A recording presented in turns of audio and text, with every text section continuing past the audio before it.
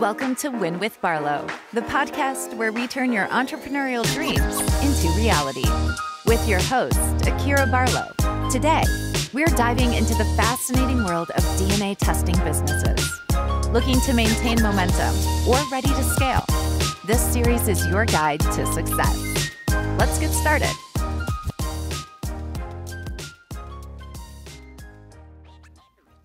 Hey, cousins, and welcome back to season two of the Win with Barlow podcast. And before you get your belt out and try to get me, I know I have been gone the entire 2025. Yes, I know. Please forgive me.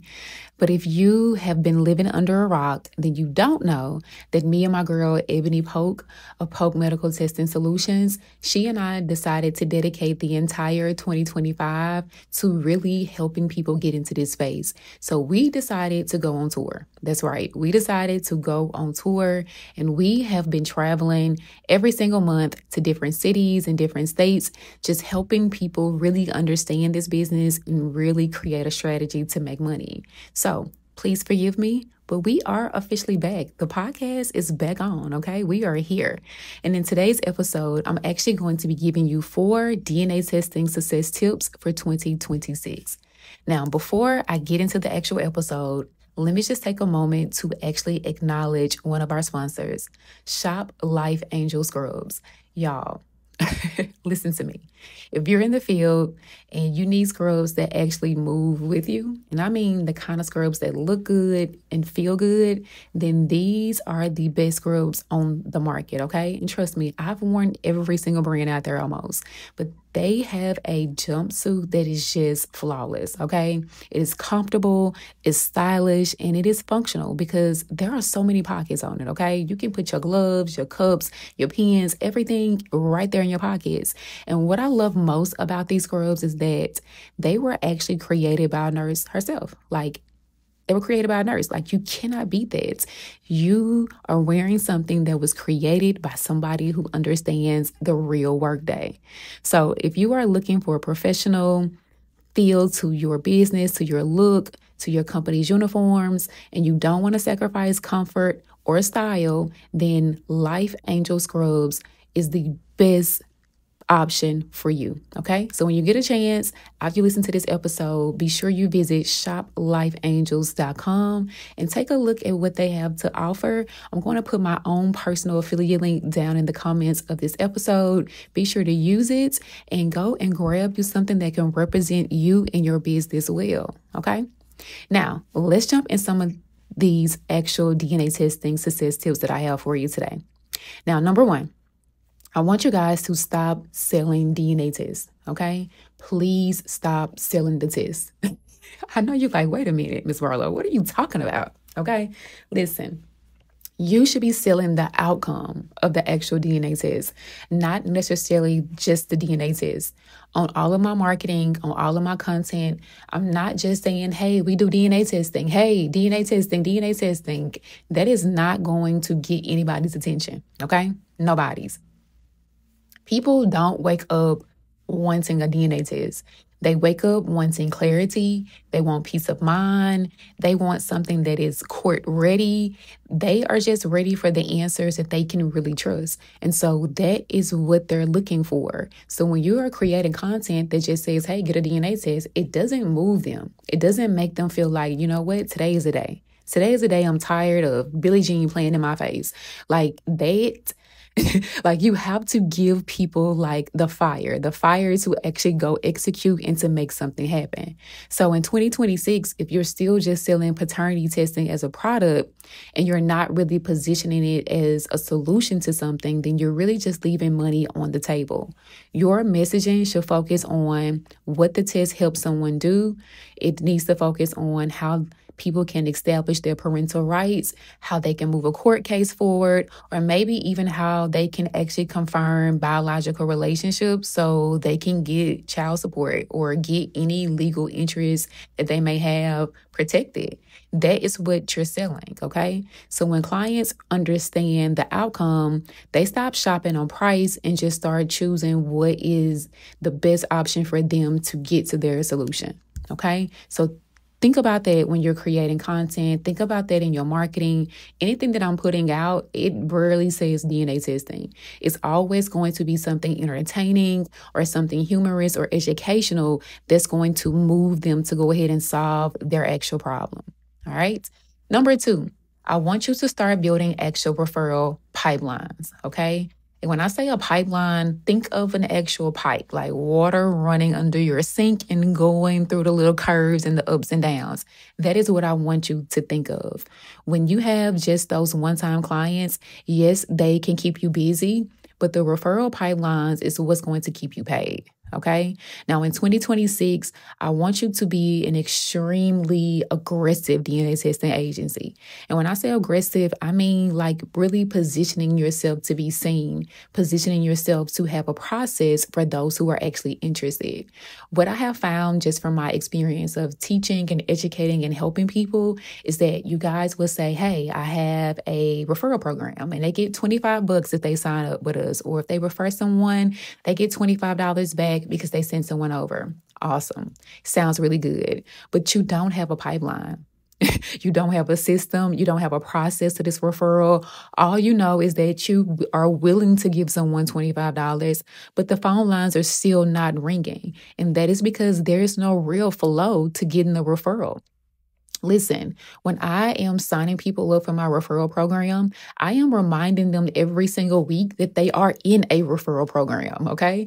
A lot of times people know that they can get paid for something and that's a one time incentive or they'll hear it and they'll remember it in their moments, but it doesn't click with them on an everyday basis. So anyone that's in my actual referral program, we're going to be texting them. We're going to be emailing them. We're going to be sending them content. We're going to be sending them free items and free merch and just things that represent us in business so that they can continue to put the word out for us. So create some sort of interactive pipeline between your company and the actual referral so that you can just stop selling your services and really position position yourself as a resource that they can rely on consistently.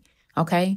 Now we know that they are going to refer people and we know that they're going to send people to you. But when you create that pipeline and that consistent flow, it keeps the clients coming and your business a whole lot more stable. Okay, so go ahead and create the process for when a referral signs up, what do they receive? When the referral is a part of the program for five days or 30 days or 60 days, what do they get? Are you doing um, affiliate calls with them? Are you doing Zoom calls with them to keep them educated? Are you sending them merch in the mail? Like, what are you doing to really curate a good referral relationship? Okay, number three speed and transparency will matter more than price. Okay. Now, yes, people are looking for a pricing in this economy that makes sense. And I tell people that are starting their businesses to make sure that you're not the highest and you're not the cheapest, but you're actually uh, competitive. And when I say competitive, I really mean being competitive. You may be five or six dollars off from LabCorp or any other major testing center in your area. But the point is, you're going to be able to do things that those Fortune 500 companies can't do. Like number one, you can be mobile. Most of them can't. Number two, you can offer payment plans. A lot of those companies are not. But speed and transparency is what matters the most to someone. So think about how that affects your business and how it will affect your potential client. They're not just waking up asking how much. They want to know how fast and how clear and how professional the process actually is. You also want to be able to get to give them clear timelines. So what is the lab process? What is the shipping like? What is the result delivery like? In 2026, I know that rapid testing is going to lead. It is going to be one of the best options that you can have within your company, which means that they're able to get their results back typically within 24 hours. So that is definitely something I will upsell my clients to and really use as a major tagline in a lot of my marketing. Clear communication, it builds trust. And I tell people all the time drop your same day testing fees. Like, why are you charging people to do a service that you're already going to be offering because you're open that day? Drop some of those excessive fees, drop all of that mileage stuff, and just have a clean, direct flow to how they can purchase, get them what their need, and just go on about their lives. That is what you want. People will pay more for peace and pay more for, for convenience and just pay more for a clean and easy process before they have to go through all of these loopholes and trying to figure out how to make it happen. So think for them, show up give them direct, clean information, be available the same day, be direct at your pricing. I tell people exactly what my laugh is. There is no shame in our game. We don't mind letting them know because we are not trying to get over on anybody. We are trying to really produce a solution for their problem. Okay.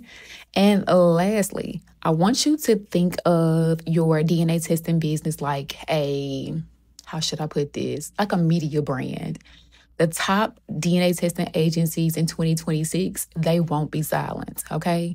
They are not just going to be posting on Instagram and hope that somebody sees it or make one little generic Canva post on Facebook in hopes that somebody will see it and call you are going to position yourself as an expert. You're going to be educating. You're going to be showing up online, giving people education and not education in regards to the service. I think that's where a lot of you get it wrong. I am not trying to be the best DNA testing specimen on specimen collector on earth. Okay. It's not what my job title is, but I do want to be the most impactful in this space in for my clients meaning I want to show up as a resource. I need to make sure that I know everything pertaining to what it is that I do. So, because I'm helping people find out who their baby daddies are, right? I am taking the time to learn the paternity laws in my state.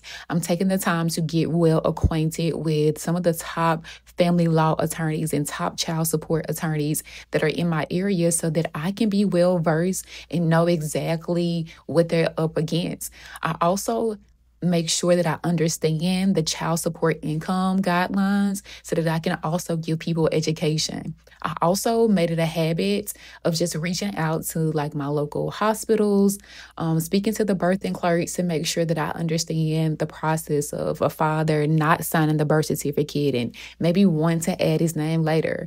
I'm always calling the vital records office to make sure that I am up on all of the latest, you know, information when it comes to, you know, vital records. So you're not just educating, you are really just showing up to make sure that your business is is not invisible. Okay. Invisible businesses they, they don't grow. You can't make any money if you're not the leading company, if you're not the person that is outworking everybody. See, that is what a lot of people miss about this industry they think, wow, you can make $300 in 15 minutes.